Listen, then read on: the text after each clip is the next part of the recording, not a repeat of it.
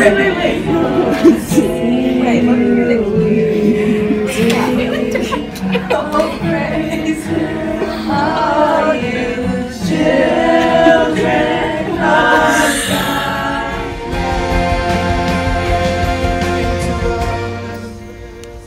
In the name of the Father, the Son, and the Holy Spirit.